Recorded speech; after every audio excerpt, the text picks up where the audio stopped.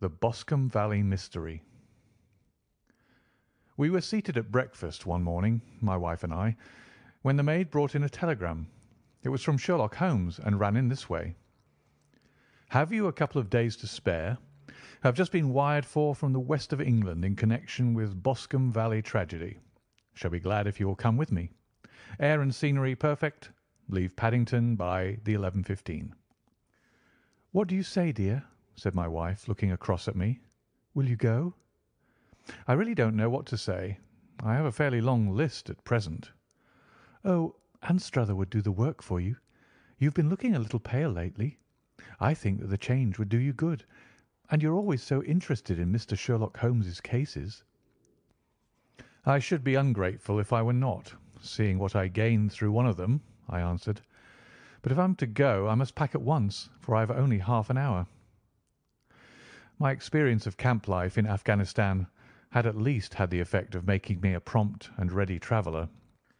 My wants were few and simple, so that in less than the time stated I was in a cab with my valise, rattling away to Paddington Station.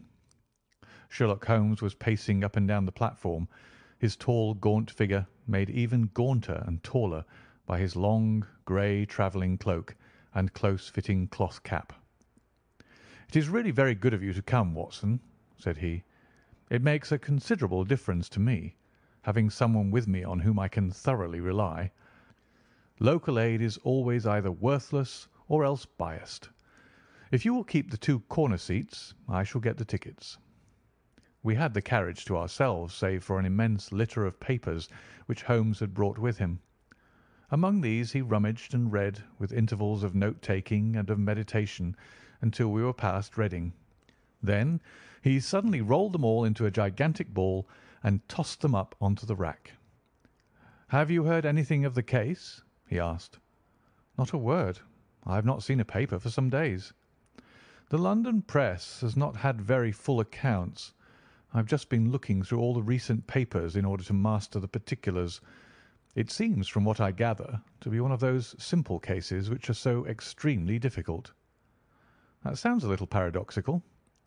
But it is profoundly true. Singularity is almost invariably a clue. The more featureless and commonplace a crime is, the more difficult it is to bring it home. In this case, however, they have established a very serious case against the son of the murdered man." "It is a murder, then?" "Well, it is conjectured to be so. I shall take nothing for granted until I have the opportunity of looking personally into it. I will explain the state of things to you, as far as I have been able to understand it, in a very few words. Boscombe Valley is a country district not very far from Ross, in Herefordshire. The largest landed proprietor in that part is a Mr. John Turner, who made his money in Australia and returned some years ago to the old country. One of the farms which he held, that of Hatherley, was let to Mr. Charles McCarthy, who was also an ex Australian. The men had known each other in the colonies, so that it was not unnatural that when they came to settle down they should do so as near each other as possible. Turner was apparently the richer man, so McCarthy became his tenant, but still remained, it seems, upon terms of perfect equality, as they were frequently together. McCarthy had one son, a lad of eighteen, and Turner had an only daughter of the same age, but neither of them had wives living. They appear to have avoided the society of the neighbouring English families, and to have led retired lives, though both the McCarthys were fond of sport, and were frequently seen at the race meetings of the neighbourhood. McCarthy kept two servants, a man and a girl. Turner had a considerable household, some half dozen at the least. That is as much as I have been able to gather about the families. Now for the facts. On June 3rd, that is, on Monday last, McCarthy left his house at Hatherley about three in the afternoon, and walked down to the Boscombe Pool, which is a small lake formed by the spreading out of the stream which runs down the Boscombe Valley. He had been out with his serving man in the morning at Ross, and he had told the man that he must hurry, as he had an appointment of importance to keep at three. From that appointment he never came back alive. From Hatherley farmhouse to the Boscombe Pool is a quarter of a mile, and two people saw him as he passed over this ground. One was an old woman whose name is not mentioned, and the other was William Crowder, a gamekeeper in the employ of Mr. Turner. Both these witnesses depose that Mr. McCarthy was walking alone.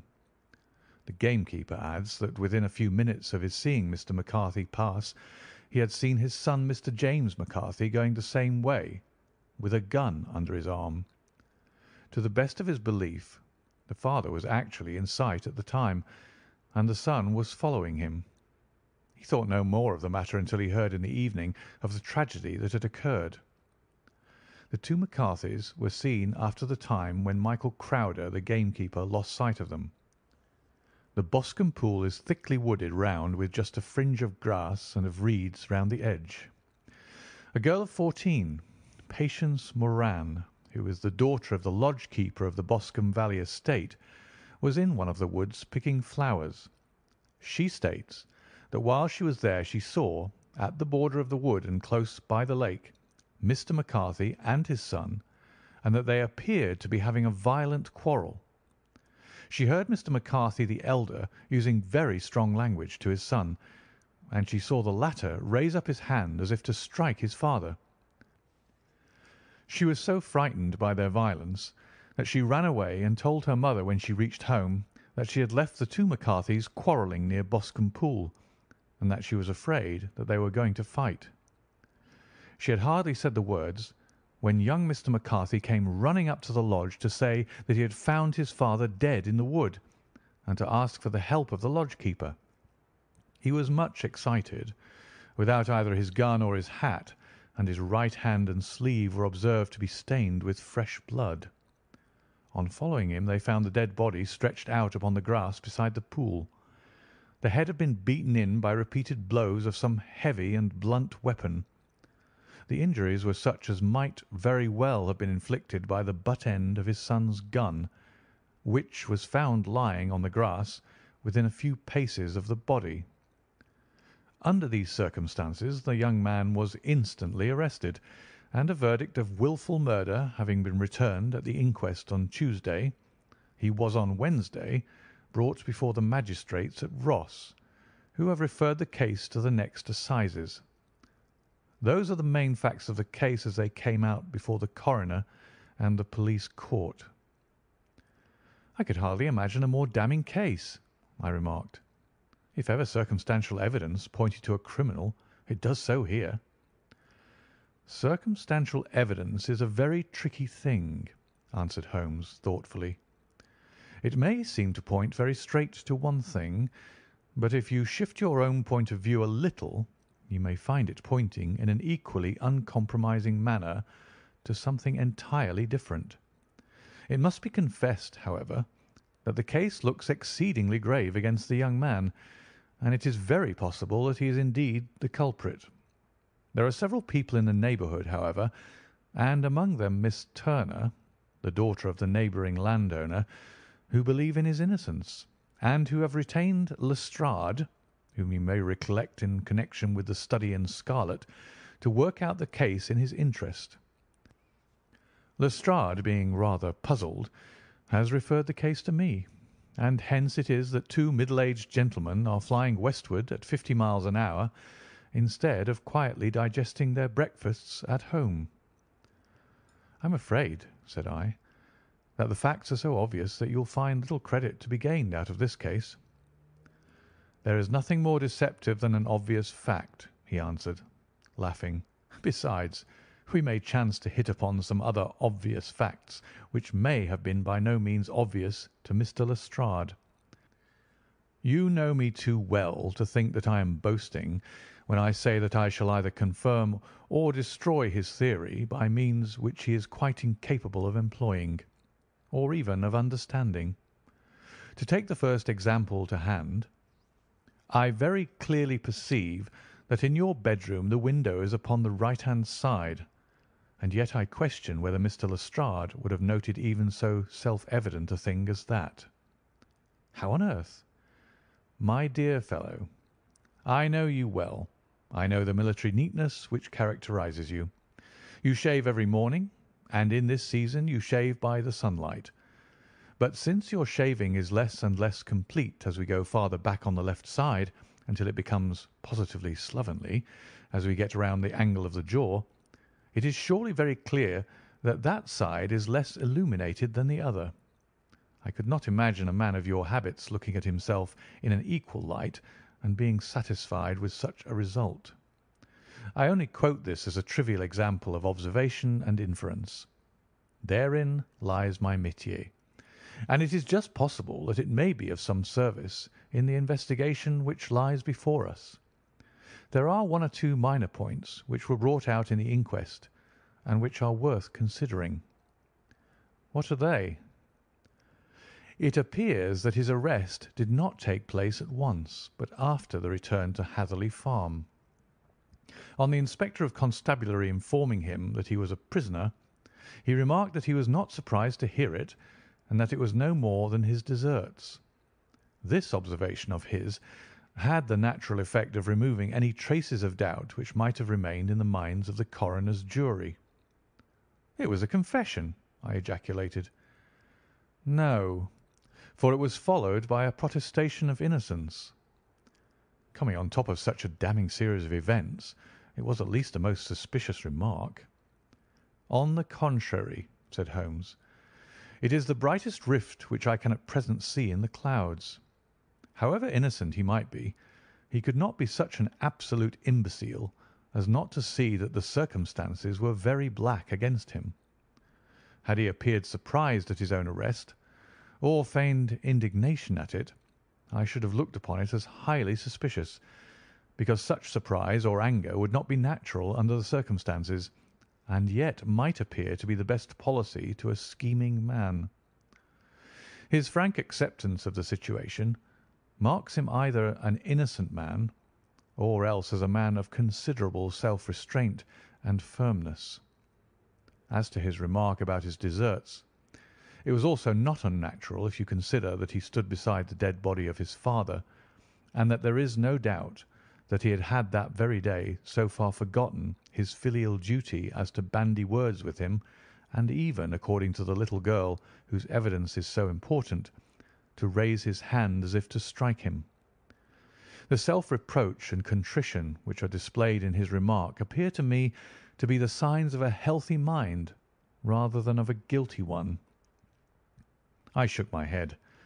"Many men have been hanged on far slighter evidence," I remarked. "So they have, and many men have been wrongfully hanged." "What is the young man's own account of the matter?" It is, I am afraid, not very encouraging to his supporters, though there are one or two points in it which are suggestive. You will find it here, and may read it for yourself. He picked out from his bundle a copy of the local Herefordshire paper, and having turned down the sheet, he pointed out the paragraph in which the unfortunate young man had given his own statement of what had occurred. I settled myself down in the corner of the carriage and read it very carefully. It ran in this way: Mr. James McCarthy, the only son of the deceased, was then called and gave evidence as follows: I had been away from home for three days at Bristol, and had only just returned upon the morning of last Monday, the 3rd. My father was absent from home at the time of my arrival, and I was informed by the maid that he had driven over to Ross with John Cobb, the groom. Shortly after my return I heard the wheels of his trap in the yard, and, looking out of my window, I saw him get out and walk rapidly out of the yard, though I was not aware in which direction he was going. I then took my gun and strolled out in the direction of the Boscombe Pool, with the intention of visiting the rabbit warren, which is upon the other side. On my way I saw William Crowder, the gamekeeper. As he had stated in his evidence, but he is mistaken in thinking that I was following my father. I had no idea that he was in front of me. When about a hundred yards from the pool I heard a cry of "Cooee!" which was the usual signal between my father and myself. I then hurried forward and found him standing by the pool. He appeared to be much surprised at seeing me and asked me rather roughly what I was doing. A conversation ensued which led to high words and almost to blows, for my father was a man of a very violent temper. Seeing that his passion was becoming ungovernable, I left him and returned towards Hatherley Farm. I had not gone more than 150 yards, however, when I heard a hideous outcry behind me, which caused me to run back again. I found my father expiring upon the ground with his head terribly injured. I dropped my gun and held him in my arms, but he almost instantly expired. I knelt beside him for some minutes, and then made my way to Mr. Turner's lodge keeper, his house being the nearest, to ask for assistance. I saw no one near my father when I returned, and I have no idea how he came by his injuries. He was not a popular man, being somewhat cold and forbidding in his manners, but he had, as far as I know, no active enemies. I know nothing further of the matter. The Coroner: Did your father make any statement to you before he died? Witness: He mumbled a few words, but I could only catch some allusion to a rat. The Coroner: What did you understand by that? Witness: It conveyed no meaning to me. I thought that he was delirious. The Coroner: What was the point upon which you and your father had this final quarrel? Witness: I should prefer not to answer. The Coroner: I am afraid that I must press it. Witness: It is really impossible for me to tell you. I can assure you that it has nothing to do with the sad tragedy which followed. The Coroner: That is for the court to decide. I need not point out to you that your refusal to answer will prejudice your case considerably in any future proceedings which may arise. Witness: I must still refuse. The Coroner: I understand that the cry of "Cooee" was a common signal between you and your father. Witness: It was. The Coroner: How was it, then, that he uttered it before he saw you, and before he even knew that you had returned from Bristol? Witness (with considerable confusion): I don't know. A Juryman: Did you see nothing which aroused your suspicions when you returned on hearing the cry and found your father fatally injured? Witness: Nothing definite. The Coroner: What do you mean? Witness: I was so disturbed and excited as I rushed out into the open that I could think of nothing except of my father. Yet I have a vague impression that as I ran forward something lay upon the ground to the left of me. It seemed to me to be something grey in colour, a coat of some sort, or plaid perhaps. When I rose from my father I looked round for it, but it was gone. Do you mean that it disappeared before you went for help? Yes, it was gone. You cannot say what it was? No, I had a feeling something was there. How far from the body? A dozen yards or so. And how far from the edge of the wood? About the same. Then if it was removed it was while you were within a dozen yards of it? Yes, but with my back towards it. This concluded the examination of the witness. "I see," said I, as I glanced down the column, that the coroner in his concluding remarks was rather severe upon young McCarthy. He calls attention, and with reason, to the discrepancy about his father having signalled to him before seeing him, also to his refusal to give details of his conversation with his father, and his singular account of his father's dying words. They are all, as he remarks, very much against the son."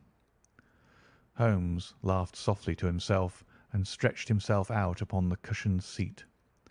"Both you and the coroner have been at some pains," said he, "to single out the very strongest points in the young man's favour.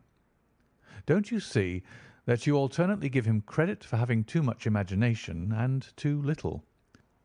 Too little if he could not invent a cause of quarrel which would give him the sympathy of the jury; too much, if he evolved from his own inner consciousness anything so outré as a dying reference to a rat and the incident of the vanishing cloth.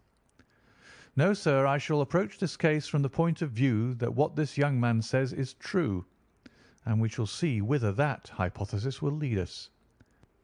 And now here is my pocket Petrarch, and not another word shall I say of this case until we are on the scene of action. We lunch at Swindon, and I see that we shall be there in twenty minutes." It was nearly four o'clock when we at last, having passed through the beautiful Stroud Valley and over the broad gleaming Severn, found ourselves at the pretty little country town of Ross. A lean, ferret-like man, furtive and sly-looking, was waiting for us upon the platform. In spite of the light brown dust coat and leather leggings which he wore in deference to his rustic surroundings, I had no difficulty in recognising Lestrade of Scotland Yard. With him we drove to the Hereford Arms, where a room had already been engaged for us. "I have ordered a carriage," said Lestrade as we sat over a cup of tea. "I knew your energetic nature, and that you would not be happy until you had been on the scene of the crime." "It was very nice and complimentary of you," Holmes answered. "It is entirely a question of barometric pressure." Lestrade looked startled. "I do not quite follow," he said. "How is the glass?" Twenty nine, I see no wind, and not a cloud in the sky. I have a caseful of cigarettes here which need smoking, and the sofa is very much superior to the usual country hotel abomination. I do not think that it is probable that I shall use the carriage to-night." Lestrade laughed indulgently. "You have, no doubt, already formed your conclusions from the newspapers," he said. "The case is as plain as a pikestaff and the more one goes into it the plainer it becomes. Still, of course, one can't refuse a lady, and such a very positive one. She has heard of you, and would have your opinion, though I repeatedly told her that there was nothing which you could do which I had not already done. Why, bless my soul, here is her carriage at the door."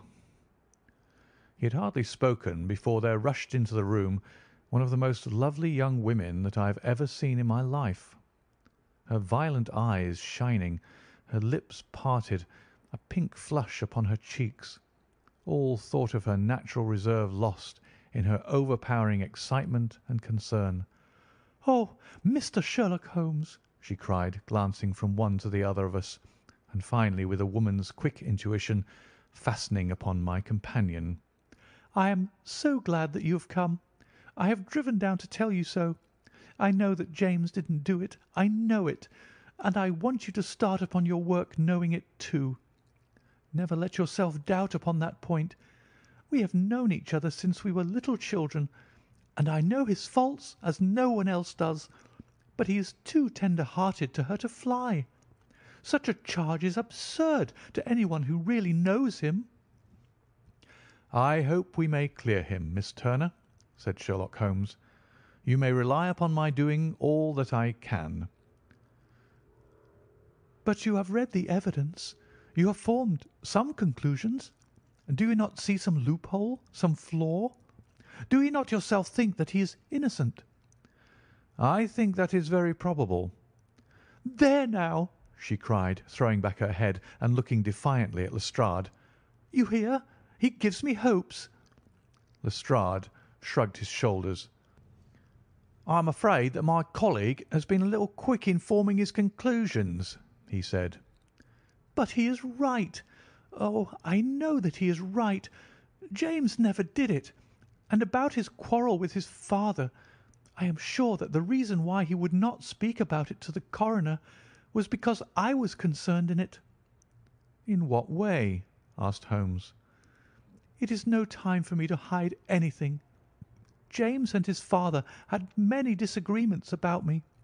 Mr. McCarthy was very anxious that there should be a marriage between us. James and I have always loved each other as brother and sister, but of course he is young and has seen very little of life yet, and and well, he naturally did not wish to do anything like that yet. So there were quarrels, and this I am sure was one of them." "And your father?" asked Holmes. "Was he in favour of such a union?" "No, he was averse to it also. No one but Mr. McCarthy was in favour of it." A quick blush passed over her fresh young face as Holmes shot one of his keen, questioning glances at her. "Thank you for this information," said he. "May I see your father if I call to morrow?" "I am afraid the doctor won't allow it." "The doctor?" "Yes. Have you not heard? Poor father has never been strong for years back, but this has broken him down completely. He has taken to his bed, and Dr. Willows says that he is a wreck and that his nervous system is shattered. Mr. McCarthy was the only man alive who had known dad in the old days in Victoria." "Ha! In Victoria. That is important." "Yes, at the mines." "Quite so. At the gold mines, where, as I understand, Mr. Turner made his money." "Yes, certainly." "Thank you, Miss Turner. You have been of material assistance to me." "You will tell me if you have any news to morrow. No doubt you will go to the prison to see James.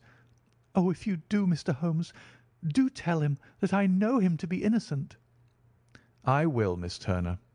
"I must go home now, for dad is very ill, and he misses me so if I leave him. Good bye, and God help you in your undertaking."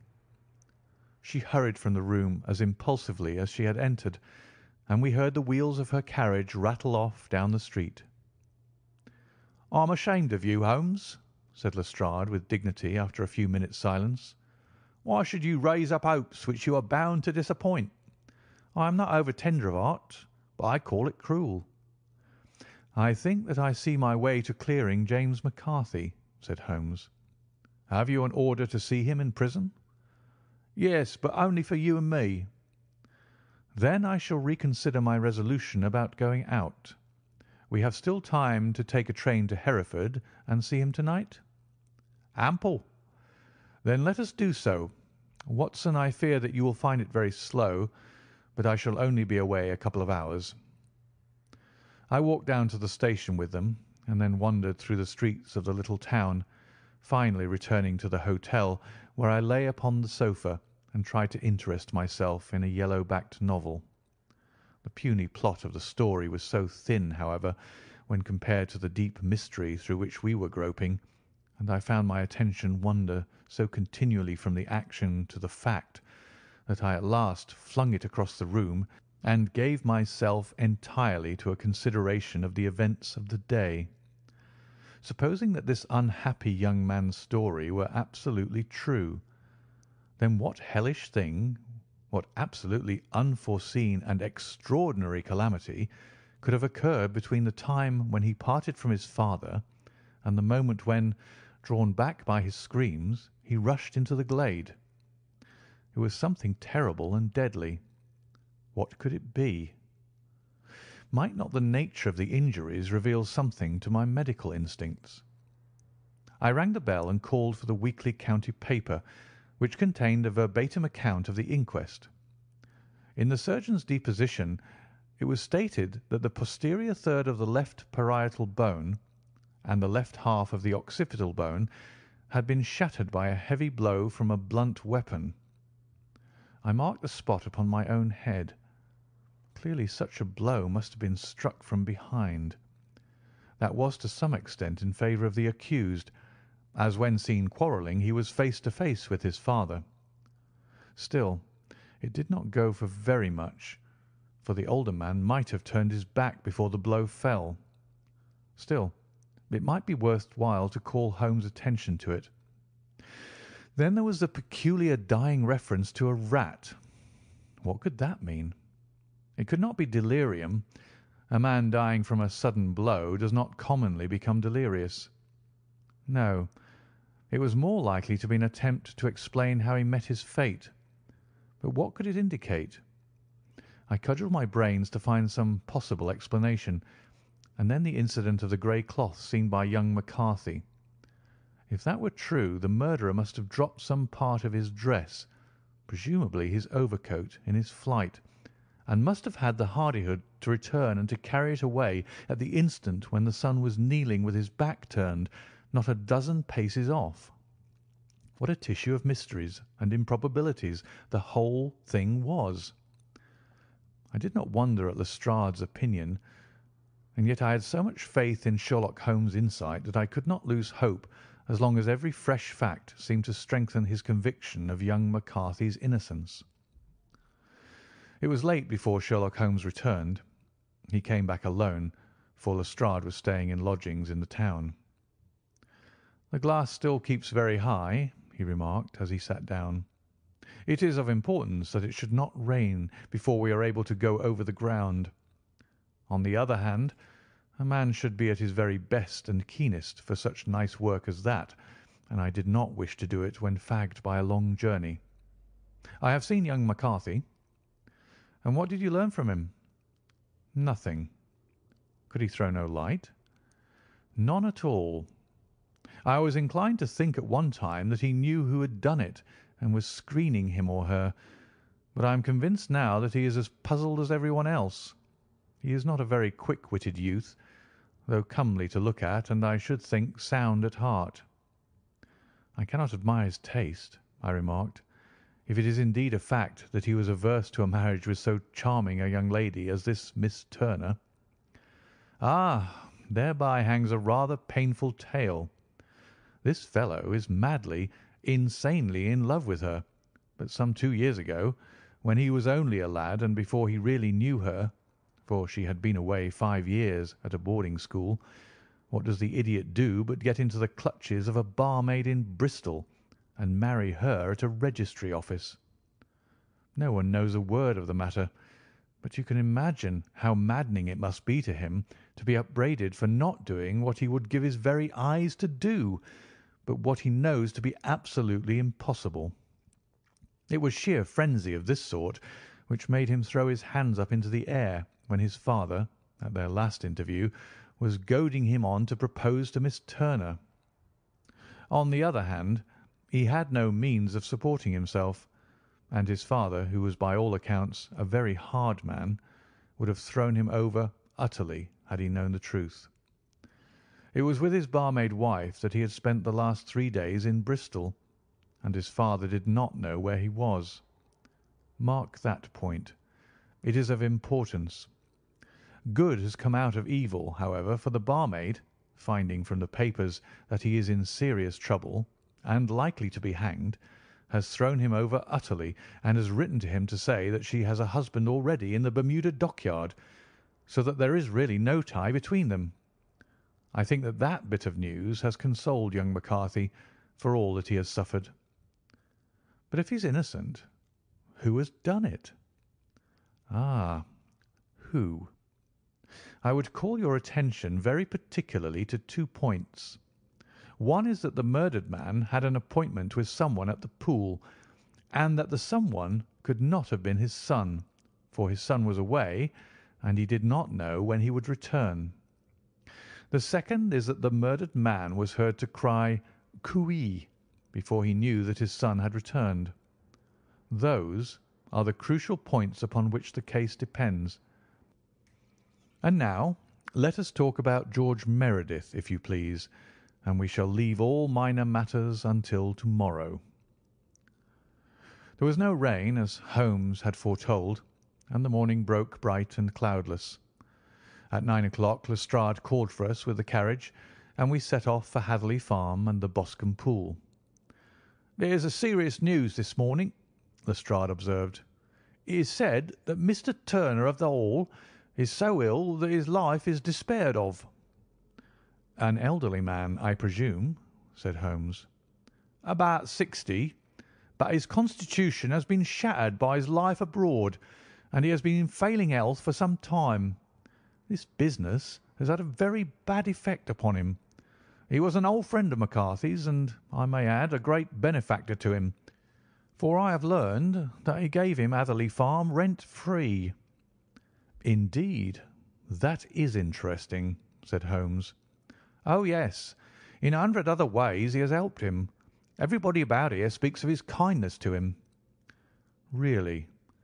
Does it not strike you as a little singular that this McCarthy, who appears to have had little of his own, and to have been under such obligations to Turner, should still talk of marrying his son to Turner's daughter, who is presumably heiress to the estate? and that in such a very cocksure manner as if it were merely a case of a proposal and all else would follow. It is the more strange, since we know that Turner himself was averse to the idea. The daughter told us as much. Do you not deduce something from that?" "We have got to the deductions and the inferences," said Lestrade, winking at me. "I find it hard enough to tackle facts, Holmes, without flying away after theories and fancies." "You are right," said Holmes demurely. "You do find it very hard to tackle the facts."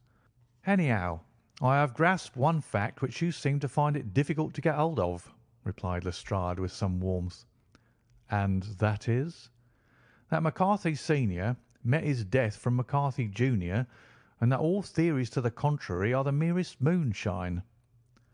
"Well, moonshine is a brighter thing than fog," said Holmes, laughing. "But I am very much mistaken if this is not Hatherley Farm upon the left." "Yes, that is it."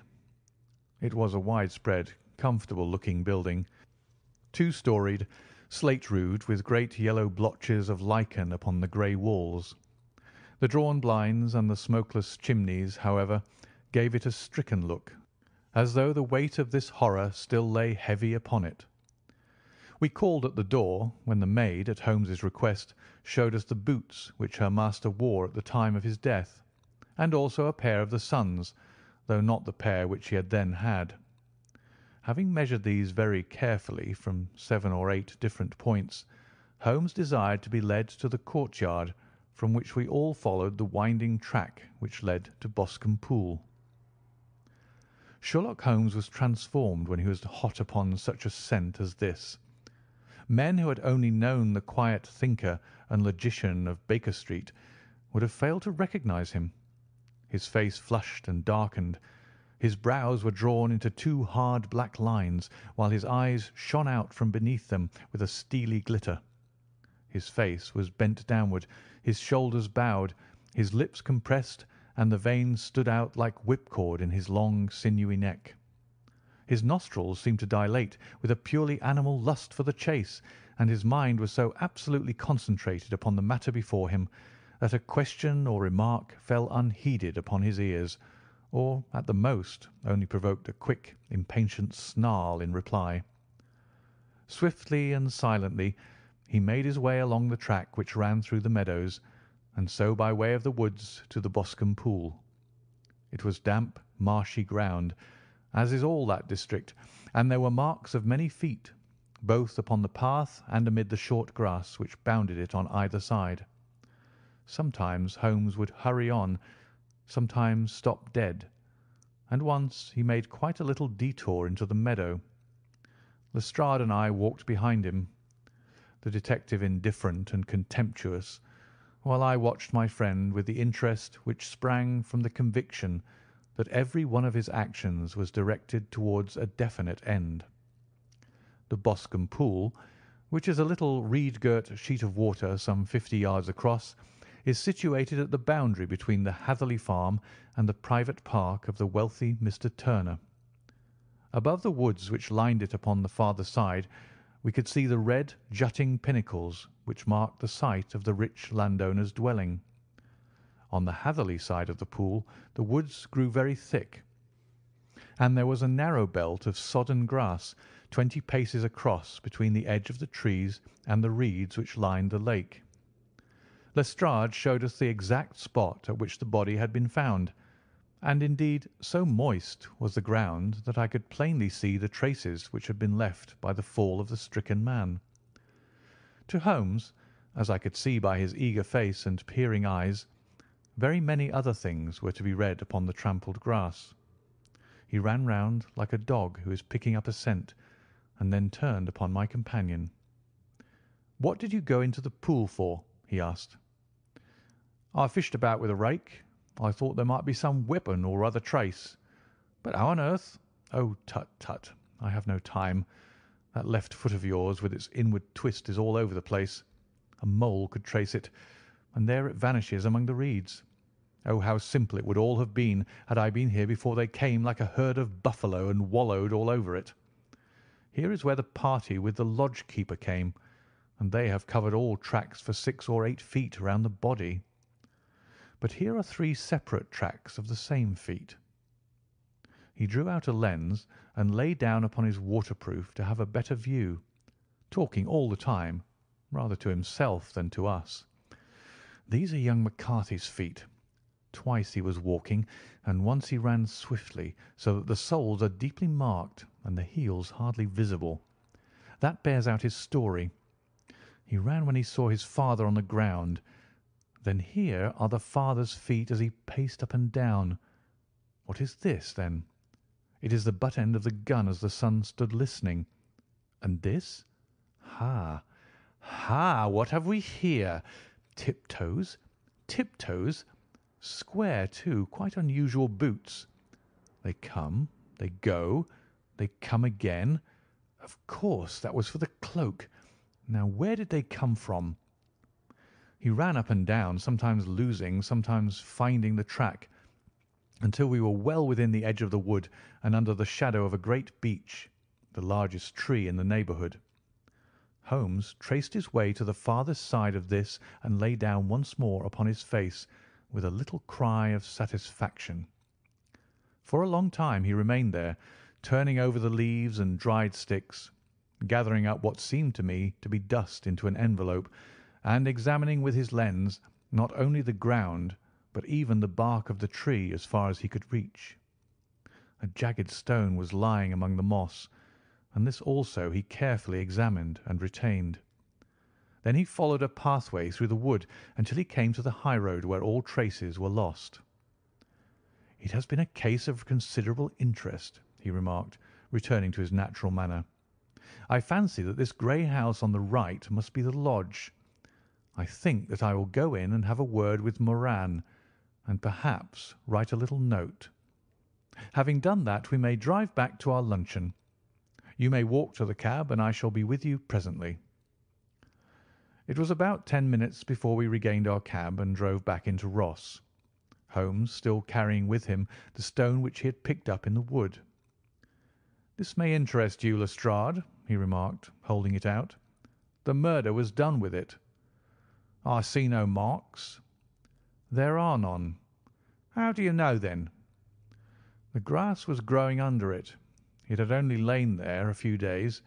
There was no sign of a place whence it had been taken. It corresponds with the injuries. There is no sign of any other weapon." "And the murderer?" "Is a tall man, left-handed, limps with the right leg, wears thick-soled shooting boots and a grey cloak, smokes Indian cigars, uses a cigar holder, and carries a blunt penknife in his pocket. There are several other indications, but these may be enough to aid us in our search." Lestrade laughed. "I am afraid that I am still a sceptic," he said. "Theories are all very well, but we have to deal with a hard headed British jury." "Nous verrons," answered Holmes calmly. "You work your own method, and I shall work mine. I shall be busy this afternoon, and shall probably return to London by the evening train." "And leave your case unfinished?" "No, finished." "But the mystery?" "It is solved. Who was the criminal, then?" "The gentleman I describe." "But who is he?" "Surely it would not be difficult to find out. This is not such a populous neighbourhood." Lestrade shrugged his shoulders. "I am a practical man," he said, "and I really cannot undertake to go about the country looking for a left-handed gentleman with a gammy leg. I should become the laughing stock of Scotland Yard." "All right said Holmes quietly. "I have given you the chance. Here are your lodgings. Good bye. I shall drop you a line before I leave." Having left Lestrade at his rooms, we drove to our hotel, where we found lunch upon the table. Holmes was silent and buried in thought, with a pained expression upon his face, as one who finds himself in a perplexing position. "Look here, Watson," he said when the cloth was cleared. Just sit down in the chair and let me preach to you for a little. I don't know quite what to do, and I should value your advice. Light a cigar and let me expound." "Pray do so." "Well, now, in considering this case there are two points about young McCarthy's narrative which struck us both instantly. although they impressed me in his favour and you against him. One was the fact that his father should, according to his account, cry cooee before seeing him. The other was his singular dying reference to a rat. He mumbled several words, you understand, but that was all that caught the son's ear. Now from this double point our research must commence, and we will begin it by presuming that what the lad says is absolutely true. What of this cooee, then? Well, obviously it could not have been meant for the son. The son, as far as he knew, was in Bristol. It was mere chance that he was within earshot. The cooee was meant to attract the attention of whoever it was that he had the appointment with. But cooee is a distinctly Australian cry, and one which is used between Australians. There is a strong presumption that the person whom McCarthy expected to meet him at Boscombe Pool was someone who had been in Australia. What of the rat, then? Sherlock Holmes took a folded paper from his pocket and flattened it out on the table. "This is a map of the colony of Victoria," he said. I wired to Bristol for it last night." He put his hand over part of the map. "What do you read?" "A.R.A.T.," I read. "And now?" He raised his hand. "Ballarat." Quite so. That was the word the man uttered, and of which his son only caught the last two syllables. He was trying to utter the name of his murderer, so and so of Ballarat." "It is wonderful!" I exclaimed. "It is obvious. And now, you see, I had narrowed the field down considerably. The possession of a grey garment was a third point which, granting the son's statement to be correct, was a certainty. We have come now out of mere vagueness to the definite conception of an Australian from Ballarat with a grey cloak." "Certainly and one who was at home in the district, for the pool can only be approached by the farm or by the estate, where strangers could hardly wander." "Quite so. Then comes our expedition of to-day. By an examination of the ground I gained the trifling details which I gave to that imbecile Lestrade as to the personality of the criminal." "But how did you gain them?" "You know my method. It is founded upon the observation of trifles. His height I know that you might roughly judge from the length of his stride. His boots, too, might be told from their traces. Yes, they were peculiar boots. But his lameness? The impression of his right foot was always less distinct than his left. He put less weight upon it. Why? Because he limped. He was lame. But his left-handedness? You were yourself struck by the nature of the injury as recorded by the surgeon at the inquest. The blow was struck from immediately behind, and yet was upon the left side. Now, how can that be unless it were by a left-handed man? He had stood behind that tree during the interview between the father and son. He had even smoked there. I found the ash of a cigar, which my special knowledge of tobacco ashes enables me to pronounce as an Indian cigar. I have, as you know, devoted some attention to this, and written a little monograph on the ashes of 140 different varieties of pipe, cigar, and cigarette tobacco. Having found the ash, I then looked round and discovered the stump among the moss, where he had tossed it.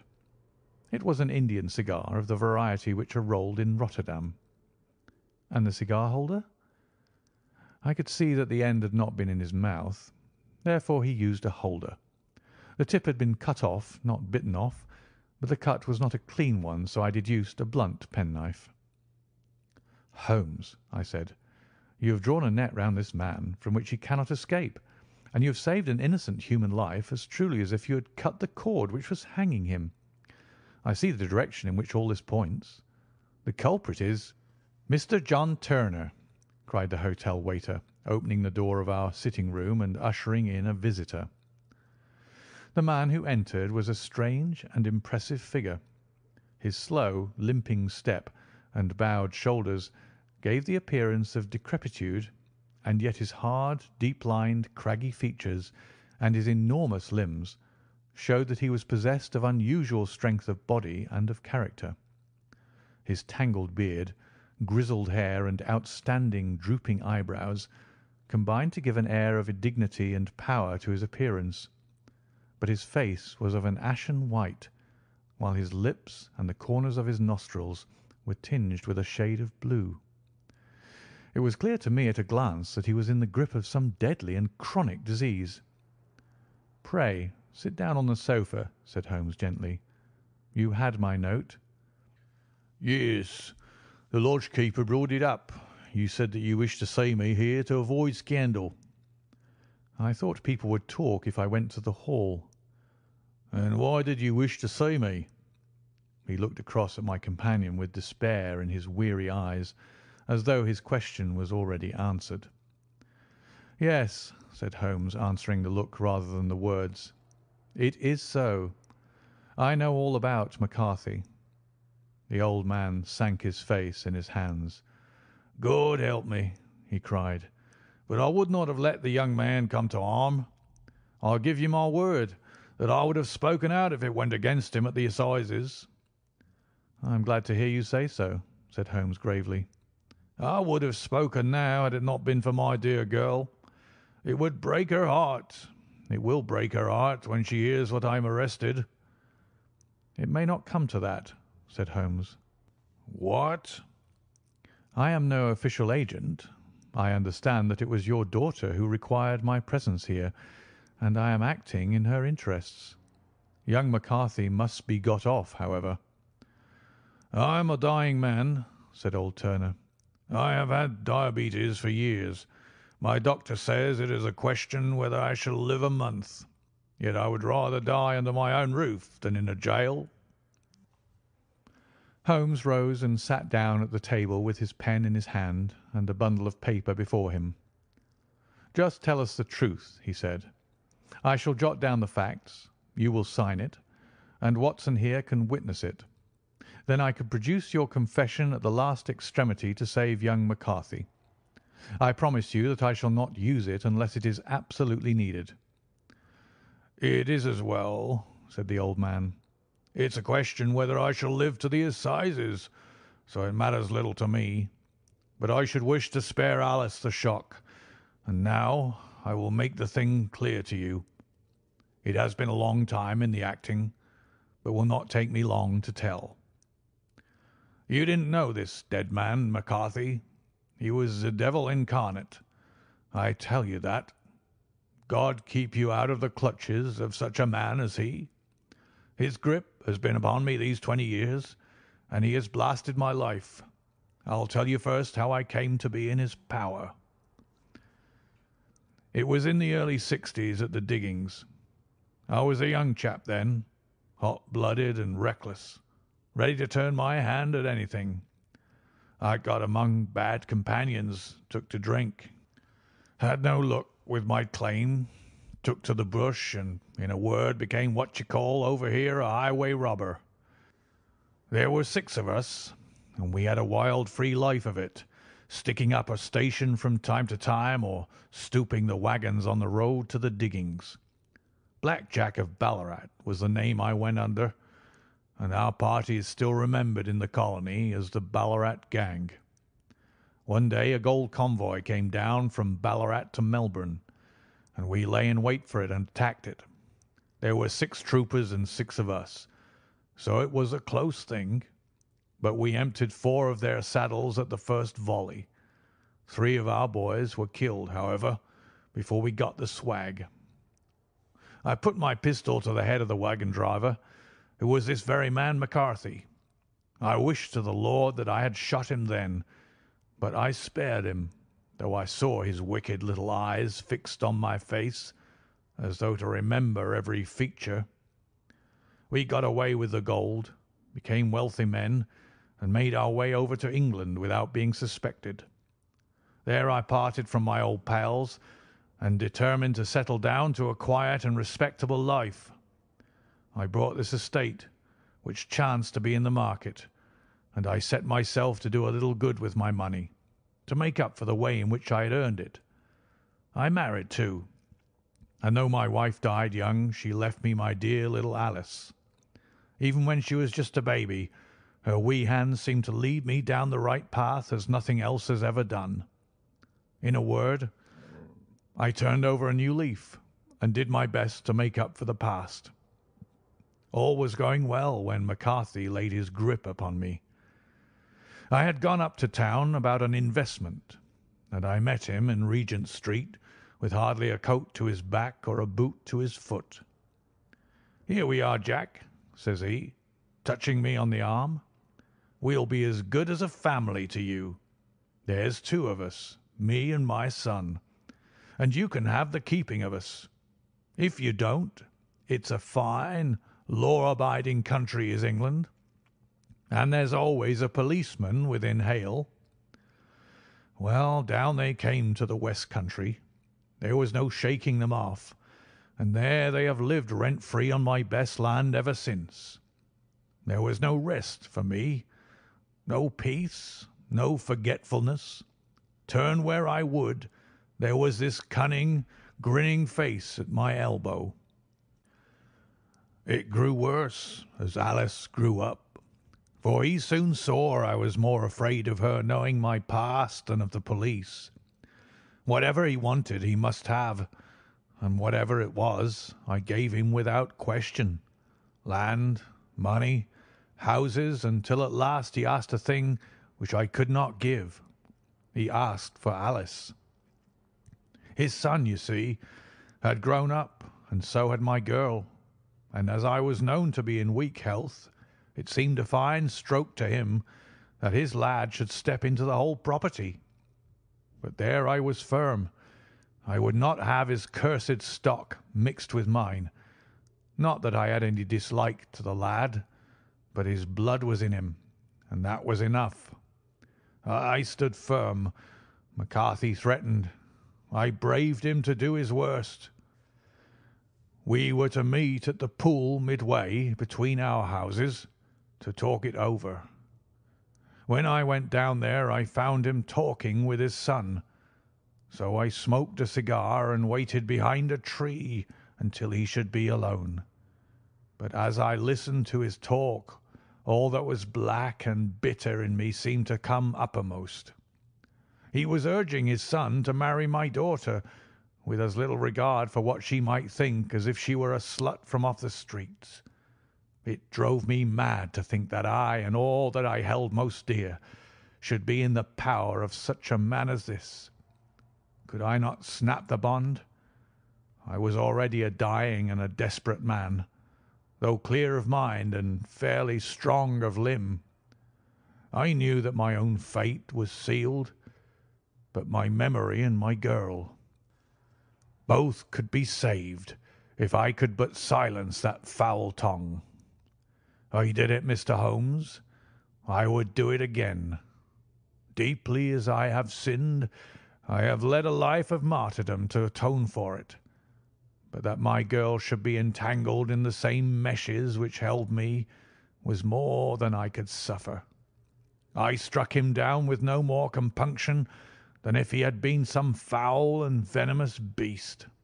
His cry brought back his son, but I had gained the cover of the wood, though I was forced to go back to fetch the cloak which I had dropped in my flight. That is the true story, gentlemen, of all that occurred." "Well, it is not for me to judge you," said Holmes, as the old man signed the statement which had been drawn out. "I pray that we may never be exposed to such temptation." "I pray not, sir. And what do you intend to do?" "In view of your health, nothing. You are yourself aware that you will soon have to answer for your deed at a higher court than the assizes. I will keep your confession, and if McCarthy is condemned I shall be forced to use it. If not, it shall never be seen by mortal eye, and your secret, whether you be alive or dead, shall be safe with us." "Farewell, then," said the old man solemnly. "Your own deathbeds, when they come will be the easier for the thought of the peace which you have given to mine." Tottering and shaking in all his giant frame, he stumbled slowly from the room. "God help us!" said Holmes after a long silence. "Why does Fate play such tricks with poor helpless worms? I never hear of such a case as this that I do not think of Baxter's words and say, 'There but for the grace of God goes Sherlock Holmes.'" James McCarthy was acquitted at the assizes on the strength of a number of objections which had been drawn out by Holmes and submitted to the defending counsel. Old Turner lived for seven months after our interview, but he is now dead, and there is every prospect that the son and daughter may come to live happily together in ignorance of the black cloud which rests upon their past. End of